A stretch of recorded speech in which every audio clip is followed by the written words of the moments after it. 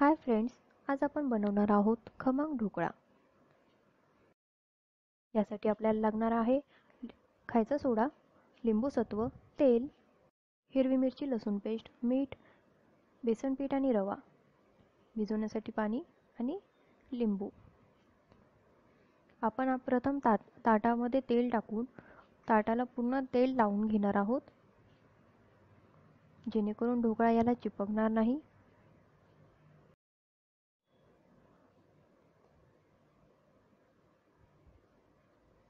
आता एका बाउलमध्ये बेसन पीठ घेऊया एक वाटी. एक वाटी रवा घेऊया. यामध्ये हिरवी मिरची आणि लसूणची पेस्ट टाकायची आहे.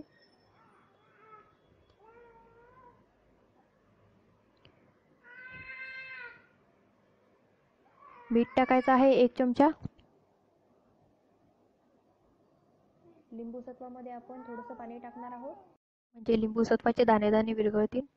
आता पाणी टाकून आपण भिजवून घेणार आहोत. यामध्ये चमचाभर तेल टाकायचं आहे. याला मिक्स करून पाण्याने भिजवायचं आहे. लागेल तसं थोडं थोडं पाणी टाकून आपण हाताने मळून घेणार आहोत. हलकंसं भिजवणार आहोत. जास्त घट्ट नाही जास्त पातळ नाही जेणेकरून ढोकळा आपला स्पॉन्जी आणि सॉफ्ट होईल. आपण याला बिटरने सुद्धा फेटू शकतो. परंतु सगळ्यांकडेच बिटर आहे अशी गोष्ट नसते. त्यामुळे आपण हातानेच करूया.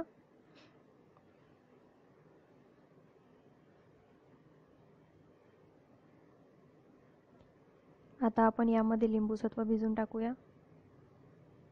याचं चांगलं पाणी झालेलं आहे त्यामुळे हे पटकन विरघळून जाईन पिठामध्ये.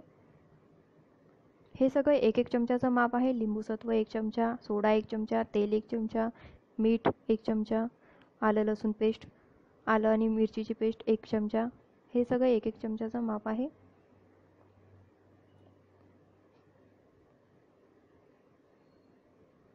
आता गॅस लावून आपण त्यावर कढई ठेवलेली आहे.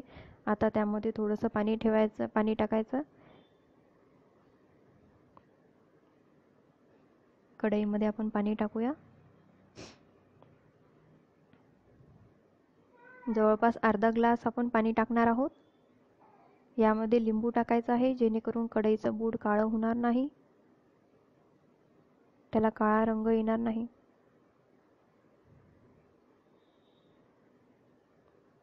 आता सगळ्या शेवटी आपण यामध्ये सोडा टाकणार आहोत. आणि सोडा टाकल्या टाकल्या आपल्याला हे फेटायला घ्यायचं आहे आणि ताटामध्ये टाकून ढोकळा लावायचा आहे. सोडा टाकल्यावर पाहू शकता आपण किती फसफसलं आहे बॅटर. आता हे बॅटर आपण एका ग्रीस केलेल्या तेलाने ग्रीस केलेल्या ताटामध्ये टाकायचं आहे.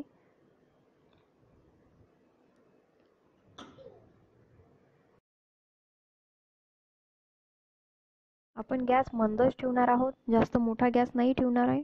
आणि हे बॅटर हे पूर्ण आपण एका मोठ्या ताटाने झाकून टाकणार आहे. ज्याने जेणेकरून आपली वाफ कढईच्या बाहेर जाणार नाही आणि ढोकळा व्यवस्थित फुगेन. यावर आपण मापही ठेवू शकतो वजनही ठेवू शकतो. पंचवीस मिनिट झाले आहेत. पंचवीस मिनिट आपल्याला हे ठेवायचं होतं. आपण पाहू शकता की हे चाकूला चिटकलेलं नाही आहे पूर्ण पंचवीस मिनिट लागतात. ढोकळा तयार होण्यासाठी वीस ते पंचवीस मिनिट आपण धरावेत. आता आपण ताट बाजूला काढून थंड होण्यासाठी ठेवणार आहोत. पाच मिनिटांनी थंड झाल्यावर आपण याला फोडणी देणार आहोत. ढोकळा थंड झालेला आहे. आपल्याला हवे तसे आपण काप करून घेऊया. आणि फोडणीसाठी मोहरी जिरे कोथिंबीर तेल घेऊया. एका पातेल्यामध्ये मी तेल टाकून फोडणी तयार करते यामध्ये तुम्ही तिळही वापरू शकता शेवही वापरू शकता.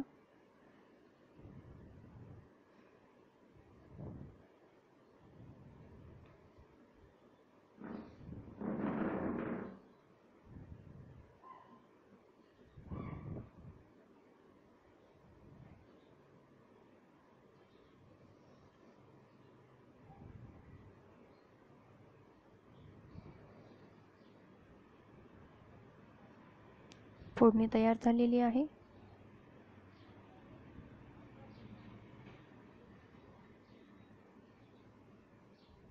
हे मी शुगर सिरप घेतलेलं आहे. ए अर्धा कप पाण्यामध्ये दोन चमचे साखर घेऊन विरघळून घेतलेलं आहे आणि ते आता ढोकळ्यावर टाकत आहे. यामुळे ढोकळा सॉफ्ट होतो. खाण्यासाठी गोडसर चवही छान येते याला.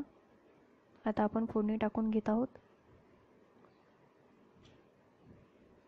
हा आपला ढोकळा तयार झालेला आहे. तुम्ही पाहू शकता किती सॉफ्टी झाले आहे किती स्पॉन्जी झालेला आहे. मला माझी रेसिपी आवडली असेल तर नक्की सबस्क्राईब करा. थँक्यू